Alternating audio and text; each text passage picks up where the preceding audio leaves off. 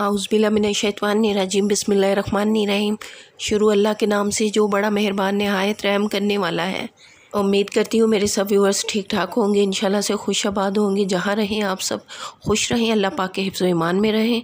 आपके खाने वाले, कमाने वाले हमेशा सलामत रहें। मेरी दुआ है व्यूअर्स आपके लिए और हमेशा रहेगी इन और दुनिया आखरत की आप सब खुशियाँ पाएँ।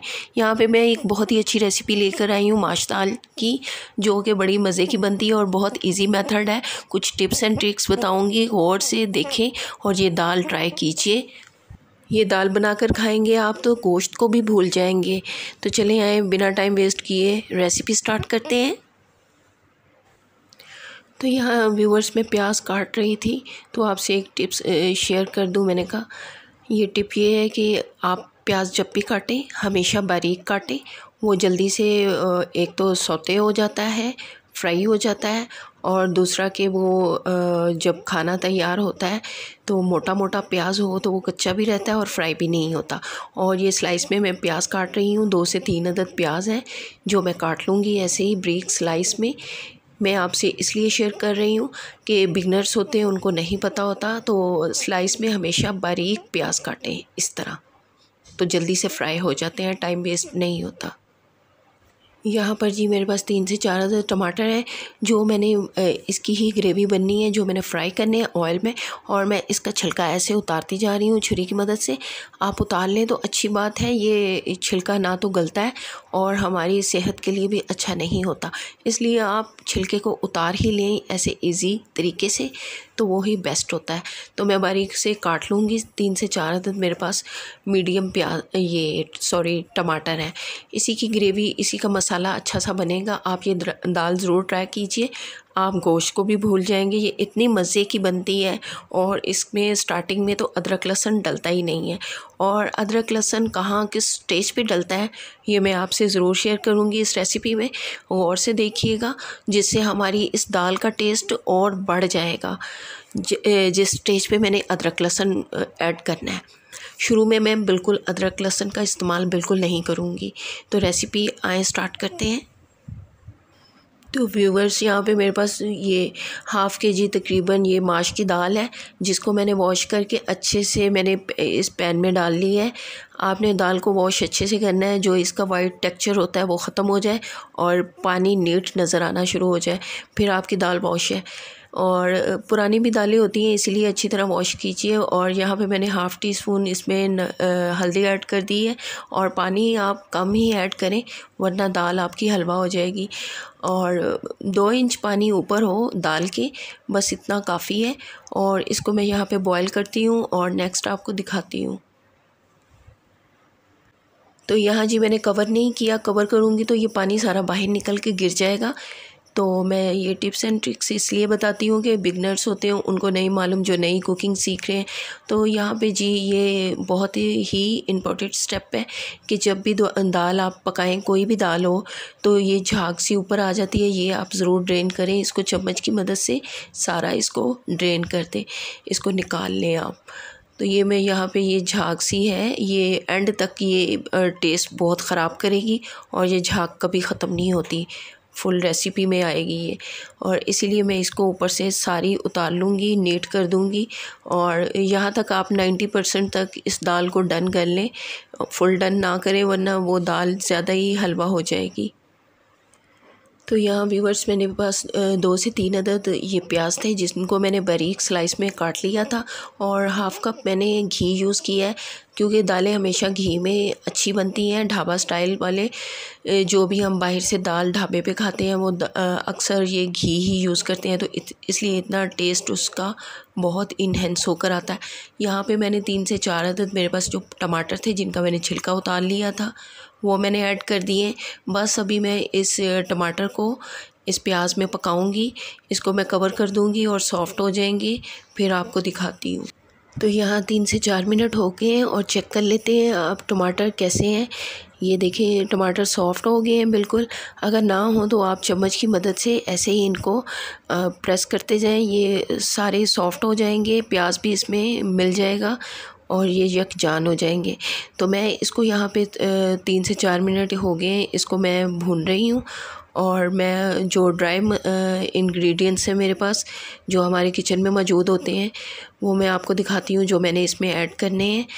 तो यहाँ पे मैं कुछ इसको चम्मच की मदद से भी इसको मैं प्रेस करती जा रही हूँ। और छिलका तो है नहीं, वैसे ही सॉफ़्ट हुए पड़े हैं और प्याज भी सॉफ़्ट हुआ पड़ा है हमारा। ऐसे फ्राई करने से प्याज और टमाटर बहुत टेस्ट आता है। और यहाँ पे मेरे पास वन टीस्पून ये नमक है और वन टीस्पून कुटी मिर्च है, वन टीस्पून पिसी मिर्च है और वन टीस्पून हल्दी है और वन टू टीस्पून मेरे पास ज़ीरा और कोरिएंडर पाउडर है, जो पाउडर फॉर्म में है, ये दोनों चीज़ें, धनिया और ज़ीरा भुना कुटा, जो मैं हमेशा भून के, कूट के और डब्बी में डाल के रखती हूँ और हर खाने में यूज़ करती हूँ। तो यहाँ पे मैंने क्वार्टर कप के बराबर इसमें पानी ऐड किया है। इसीलिए कि मसाले ना जले, वरना मसाले जल जाते हैं तो उनका टेस्ट बहुत ख़राब हो जाता है। थोड़ा सा पानी ऐड करके आप इसको मैश करें।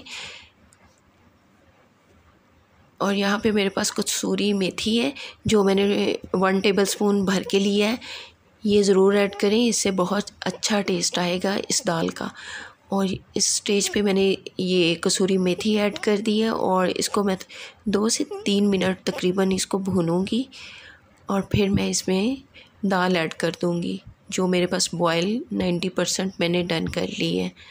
फुल डन ना करें। और थोड़ा सा पानी और ऐड करूँगी और इसको मैं भूनती जा रही हूँ तीन से चार मिनट के लिए। और फिर मैं इसको दो मिनट के लिए कवर करती हूँ और नेक्स्ट आपको दिखाती हूँ। तो यहाँ जी तीन से चार मिनट हो गए हैं और ये हमारी ग्रेवी अच्छी सी बनकर तैयार हो गई है। टमाटर घुल मिल गए हैं और प्याज भी नज़र नहीं आ रहा, क्योंकि बारीक काटा था, मोटा होता ना ही उसने फ्राई होना था और कच्चा ऐसे ही नज़र आना था ग्रेवी में। और ये देखिए, ना टमाटर, ना प्याज, कुछ भी नहीं नज़र आ रहा। और यहाँ पर मैं इस स्टेज पर इस दाल को ऐड कर दूँगी, इस ग्रेवी में, और इसको अच्छे से मिक्स करके मैं कवर करूँगी, अदरक वगैरह डालूँगी और ये मैं अच्छे से सारी दाल इस पैन से निकाल कर इसमें ऐड कर दी है मैंने। यकीन माने ये दाल बहुत ही अच्छी बनती है, आप गोश्त को भूल जाएँगे और बहुत ही ये मज़े की बनेगी। आप ज़रूर ट्राई करें, आप रोटी के साथ, चपाती के साथ खाएँ और नाश्ते में ये दाल पराठे के अंदर लगा कर खाएँ तो बहुत ही मज़ा आता है। तो यहाँ पे जी मैंने इसको अच्छे से मिक्स कर लिया है।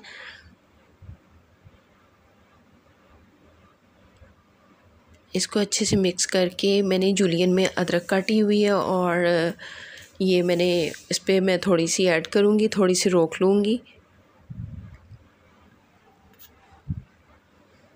अदरक आप ज़्यादा डालें इस दाल में तो वो आपको ये स्टमक का मसला नहीं होता।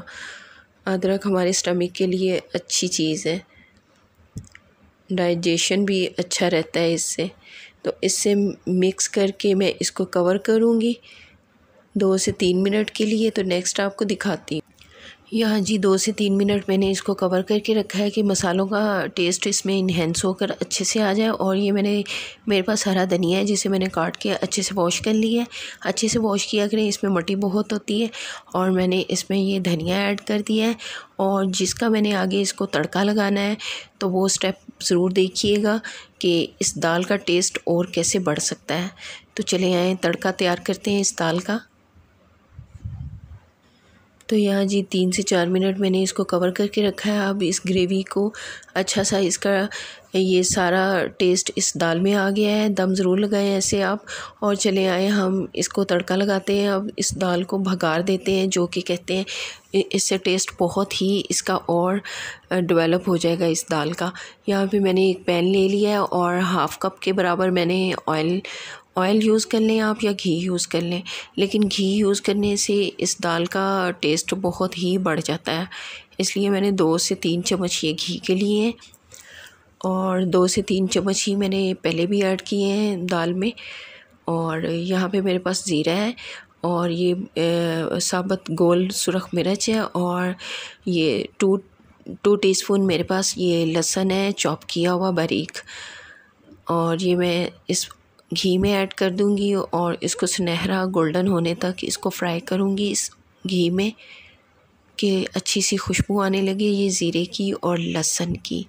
जो इस दोनों चीज़ों की खुशबू आती है ना इसमें और ये रेड सुरख मिर्च की साबत, ये बहुत ही अच्छी खुशबू आती है। और जब भी आप तड़का लगाएँ फ़ौर आप कवर भी हाथ में रखें ये पैन का। कि हम इस तड़के को जब ऐड करें ना इस दाल में या किसी भी चीज़ में तो कवर हमारे हाथ में होना चाहिए और फिर इस तड़के को, इस भगार को हम ऐड करें और फ़ौर ऊपर से कवर कर दें।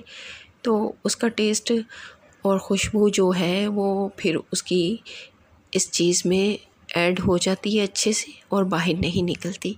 इसीलिए मैंने फ़ौर कवर कर दिया है।